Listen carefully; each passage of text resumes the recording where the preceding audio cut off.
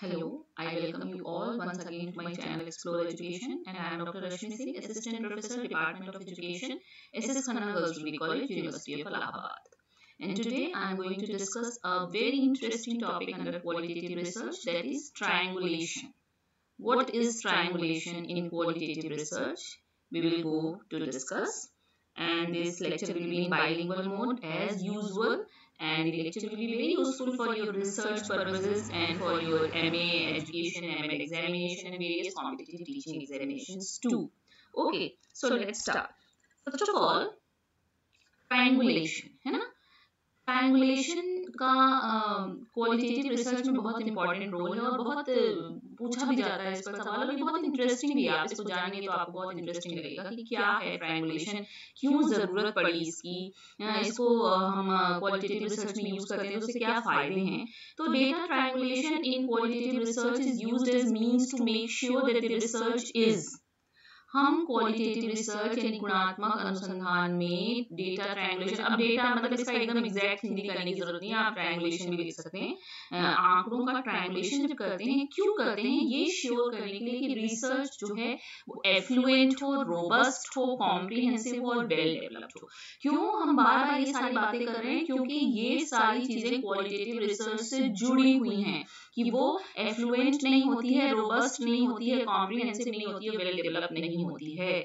क्यों? क्योंकि जो जब क्वालिटेटिव रिसर्च का प्रादुर्भाव हुआ जब वो आती है लिटरेचर में तो उस समय क्वांटिटेटिव रिसर्च का बोलबाला है है ना? लॉजिकल पॉजिटिविज्म की बात चल रही है, सिर्फ़ और सिर्फ़ सिस्टमैटिक एनालिसिस की बात चल रही है।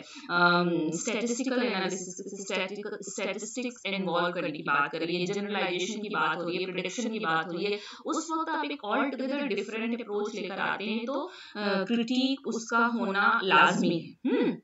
तो इसलिए बार बार क्वालिटेटिव रिसर्च को प्रूफ करना पड़ता है अपने आप को कि नहीं ऐसा कर लें ऐसा कर लें ऐसा कर लें तो आप हमें भी क्रेडिबल हमारी भी क्रेडिबिलिटी है हम भी आ, हमारा भी आ, योगदान है ज्ञान के क्षेत्र में है ना?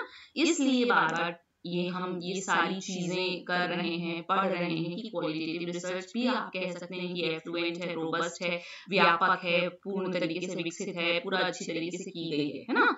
तो ट्रैंगुलेशन क्या है? Refers to use of multiple methods और data sources in qualitative research to develop a comprehensive understanding of phenomena हम करने क्या चले हैं? क्वालिटेटिव रिसर्च में कोई ना कोई फेनोमेना है जिसको अध्ययन करने चले हैं, किसी का एक्सपीरियंस है, वो अध्ययन करने चले हैं, किसी की इनसाइट है, उसके बारे में जानना चाहते हैं, कुछ है जो एक्सप्लोर करना चाहते हैं। तो, तो ट्रैंगुलेशन का मतलब है कि हमको बहुत सारी विधियाँ यूज़ करनी है बहुत सारे तरीकों से डेटा को एकत्रित करना है जिससे कि हम कह सकें कि नहीं हमने बहुत व्यापक काम किया है।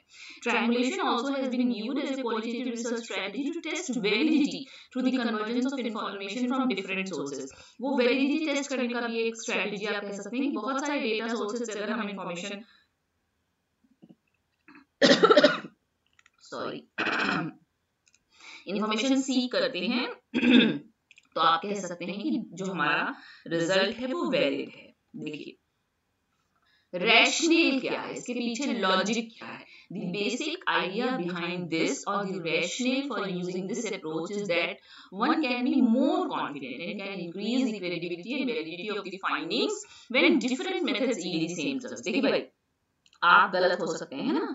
आपका तरीका गलत हो सकता है आपका इंटरप्रिटेशन गलत हो सकता है लेकिन जब बहुत सारे लोग उसी रिज़ल्ट पर पहुँच रहे हैं बहुत सारे तरीकों से हम उसी रिज़ल्ट पर पहुँच रहे हैं। बहुत सारा डेटा वही एक बात कह रहा है तो इसका मतलब कि हमारी ट्रूथ वैल्यू बढ़ जाती है हमारी फाइंडिंग की हमारी फाइंडिंग की वैलिडिटी बढ़ जाती है। ये इसके पीछे रैशनल है। क्यों? ये इसके पीछे क्वालिटेटिव रिसर्च में कहा जाता है ना? कि आप तो फ़ील्ड में गए ही नहीं होंगे। आपने तो मनगढ़ंत अपने मन से कहानी लिख दी होगी अंततः क्या निकल के आना है? भाई किसी का इंसाइट है तो मेरा भी इंसाइट हो सकता है। तो क्या ज़रूरत है कि हम फ़ील्ड में जाएँ हम अपने मन से ही बैठकर कहानी लिख दें और घर में बैठे बैठे हमारी रिसर्च हो जाए? इस तरीके के इस पर आप कह सकते हैं कि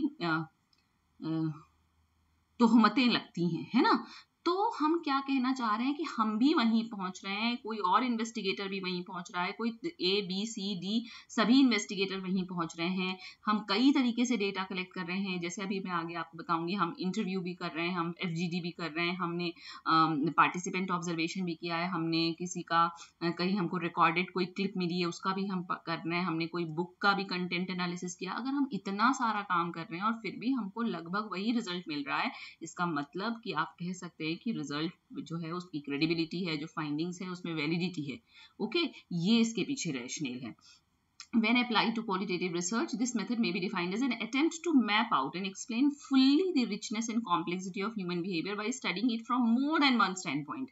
नहीं हम एक दृष्टिकोण से देखेंगे हम कई सारे दृष्टिकोण से अगर देखकर भी उसी नतीजे पे पहुँच रहे हैं इसका मतलब कि हम और रिचनेस के साथ एक्सप्लेन कर सकते हैं अपनी फाइंडिंग्स को और उसकी क्रेडिबिलिटी और वैलिडिटी नो डाउट इंक्रीज हो जाएगी टाइप्स देखिए डेंजिन एंड पैटर्न का काम है इस पर इन्होंने बताया कि चार तरीके के ट्रायंगुलेशन होते हैं। बाद में मैं आपको पांचवा भी बताऊँगी, पर इन जनरल अगर आप सर्च करेंगे आपको बुक्स में, आपका लिटरेचर में, आपको यही चार तरीके मिलते हैं। कौन कौन से?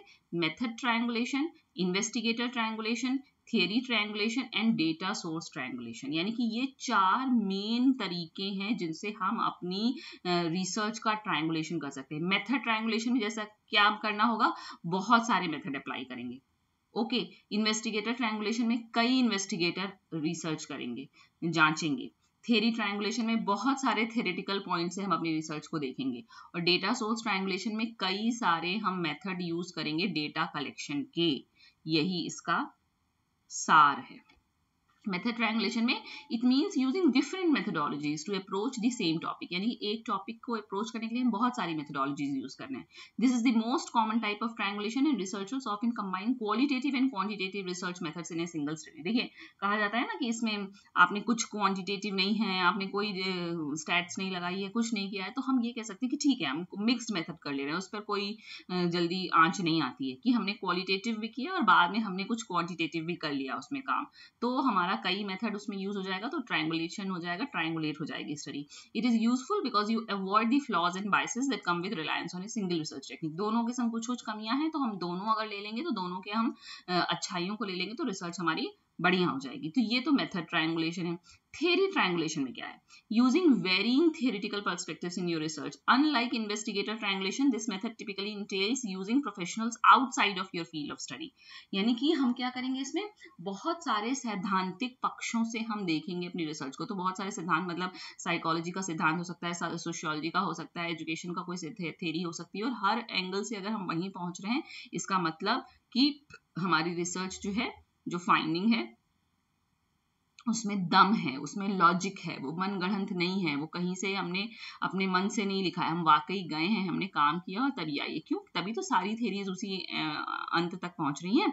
तो अनलाइक इन्वेस्टिगेटर ट्रायंगुलेशन मतलब इन्वेस्टिगेटर ट्रायंगुलेशन में क्या होता है कि हम कहते हैं किसी और भी रिसर्चर से कि आप भी देख लीजिए इसका डेटा आप भी देख लीजिए, आप भी देख लीजिए। तो कई सारे लोग उस पर काम करते हैं, उनसे डिस्कशन होता है निगोशिएशन होता है तो वो चीज़ निकल कर आती है। लेकिन थेरी ट्रायंगुलेशन में कह रहे हैं कि हमको आउटसाइड दूसरे प्रोफेशनल्स भी चाहिए मतलब हमको साइकोलॉजिस्ट भी चाहिए, हमको सोशोलॉजिस्ट भी चाहिए, हमको एजुकेशनिस्ट भी चाहिए, हमको जो भी और फ़ील्ड हो, वो वो भी चाहिए। तो इसलिए थेरी ट्रायंगुलेशन इस तरीके से इन्वेस्टिगेटर ट्रायंगुलेशन से डिफरेंट है।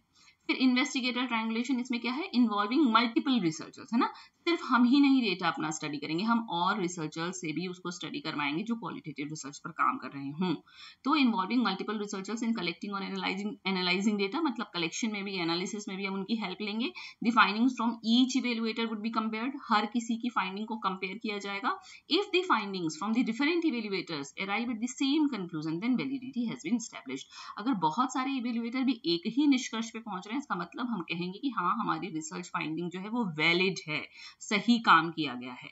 और data source triangulation using data from different time spaces and people हम बहुत सारे समय, काल, लोगों से डेटा ले रहे हैं और तब भी अगर हम सेम नतीजे पे पहुँच रहे हैं, इसका मतलब कि ठीक बात है।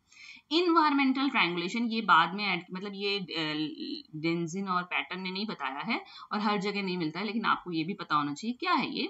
This type of triangulation involve use of different location environment को हम चेंज कर रहे हैं ना, कई तरीके के इन्वायरमेंट यूज़ कर रहे हैं। जैसे डेटा में कई तरीके से डेटा इन्वेस्टिगेटर में कई इन्वेस्टिगेटर उसी तरह से इन्वायरमेंटल ट्रायंगुलेशन में हम इन्वायरमेंट को कई इन्वायरमेंट में वही स्टडी करेंगे या ढूंढेंगे।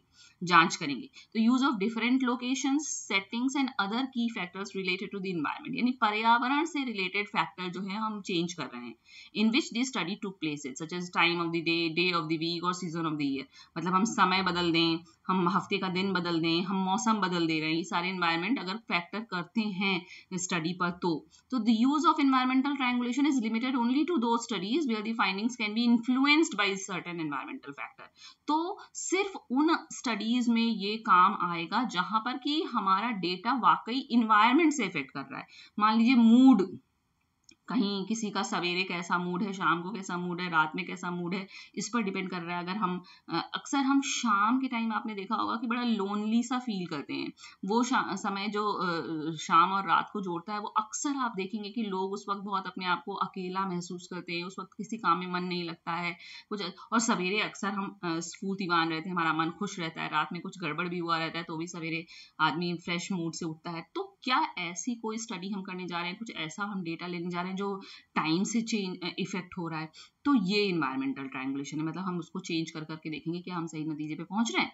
तो the environmental factor is change to see the findings are the same हम इन्वायरमेंटल फैक्टर भी अगर बदल बदल के देखें और तब भी अगर सही बात निकल कर आ रही, वही बात निकल कर आ रही है, इसका मतलब कि हम कह सकते हैं कि डेटा हमारा सही है। If the findings remain the same under varying environmental conditions then validity has been established और अगर डिफरेंट बदले हुए पर्यावरणीय दशाओं में भी फाइंडिंग सही निकल कर वही निकल कर आ रही है तो हम कह सकते हैं कि जो ये है, जो वैध है काम, है ना आपका?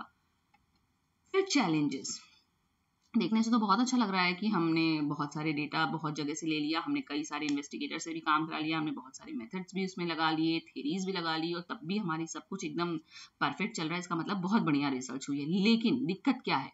The amount of additional time वैसे ही क्वालिटेटिव रिसर्च जो होती है, वो टाइम टेकिंग होती है टाइम कंज्यूमिंग होती है और उसमें आपको डिफरेंट इन्वेस्टिगेटर से काम करवाना है कई जगह से डेटा लेना है, कई मेथड अप्लाई करने तो निश्चित रूप से आपका टाइम का कंस्ट्रेंट आएगा। बहुत सारा टाइम आपको चाहिए इसको करने के लिए। The complexities of dealing with large quantities of data सबसे ज़्यादा दिक्कत क्वालिटेटिव रिसर्च में डेटा को लेकर होती है। इतना डेटा आपके पास ट्रांसक्रिप्ट है, आपके पास रिकॉर्डेड लेक्चर है, आपने हर डिटेल को नोट किया है कैसे उसकी कैटेगरी बनाई जाए, कैसे कोडिंग की जाए, कैसे कंटेंट एनालिसिस की जाए, कैसे हम उसको समेटें रिडक्शन कैसे करें? इतना सारा है हमारे पास। ये सबसे बड़ी क्लिष्टता होती है।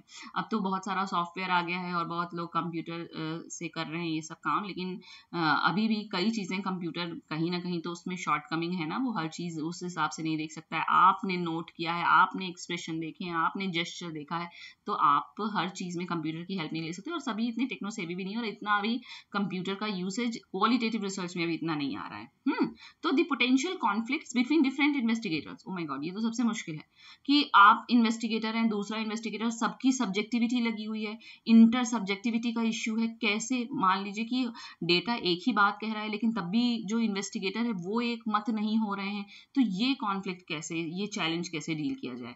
Theories hypotheses and or methods, the difficulties of interpretation when data do not converge into a clean clear picture भाई कह रही हूँ ना कि डेटा ऐसा निकल के आया है कि उसी डेटा को कोई दूसरे पिक्चर शो कर रहा है, कोई दूसरा इन्वेस्टिगेटर उसकी दूसरी पिक्चर शो कर रहा है, क्योंकि तो पूरा सब्जेक्टिविटी इसमें इन्वॉल्व है, आपका सेल्फ इन्वॉल्व है, आपके पास्ट एक्सपीरियंसेस इन्वॉल्व है तो कैसे एक क्लियर पिक्चर बनाई जाए? And limited understanding among policy या decision makers about how triangulation works and why it was use in a given situation और अभी तक इसकी कोई ऐसी अंडरस्टैंडिंग भी नहीं बनी है कि यही हम लेकर चलेंगे, इतने ही तरीके से करेंगे, हम डेटा ट्रायंगुलेशन करेंगे कि मेथड ट्रायंगुलेशन करेंगे, कि सब करेंगे, कितना करेंगे, इस पर भी एक मत नहीं होते हैं जनरली डिसीज़न पॉलिसी मेकर्स तो ये भी एक बहुत बड़ा चैलेंज होता है। तो इस तरीके के चैलेंज इसमें आते हैं। लेकिन अगर आप एक दो डेटा ट्रायंगुलेशन या इन्वेस्टिगेटर ट्रायंगुलेशन कुछ भी कर लेते हैं तो निश्चित रूप से आपकी जो रिज़ल्ट है उसकी वैलिडिटी बढ़ जाती है उसकी क्रेडिबिलिटी बढ़ जाती है उसकी ट्रूथ वैल्यू बढ़ जाती है बहुत इंटरेस्टिंग टॉपिक है ये क्वालिटेटिव रिसर्चर्स के लिए okay so sorry have completed one more important, interesting phenomena uh, strategy topic under qualitative research methodology. That is triangulation of data या triangulation of method या self triangulation. Okay, so thank you and don't forget to like and subscribe my channel Explore Education and join my telegram group too. Done from my side.